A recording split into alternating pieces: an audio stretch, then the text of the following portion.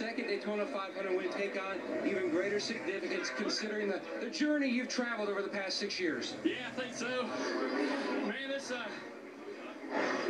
winning this race uh, is the greatest feeling that you can feel in this sport. And uh, aside from obviously accepting the trophy for the championship, I didn't know if I'd ever get a chance to feel that again, and it feels just as good, if not better than the first, because of how hard we tried year after year after year, running second all them years, wondering why and, and what we needed to do. And I got to get my head together. I got to thank National Guard, uh, Diet Mountain Dew, all our sponsors, Kelley Blue Book, Chevy and Sprint, uh, and, and my team.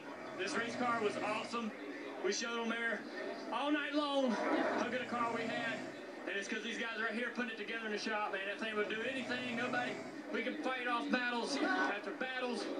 And uh, we got a little help at the end from Jeff to get away on that restart and just sort of try to take care of it there. It was, uh, this is amazing. I can't believe this is happening. I'll never take this for granted, man, because uh, this just doesn't happen uh, twice, let alone once. So just real thankful. Thanks to all my fans out there for supporting us. We pretty much uh, might be in the chase. Ain't gonna worry about that. Get that off our chest, and we're two times Daytona 500 champion. You've told me several times you cannot put into words and measure what Steve Letarte has meant to you and your career. Did he resurrect it? Surely. Um, him and all these guys, you know, you got to give. He builds a great crew. These guys are so talented. So uh, obviously, Steve knows what he's doing. Put a lot of good people around us to make it make us successful.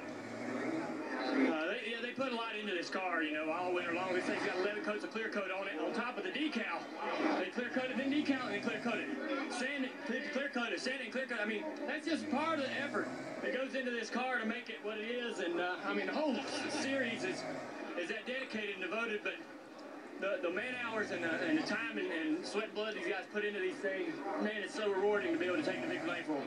Congratulations. Thank you so much. Chris?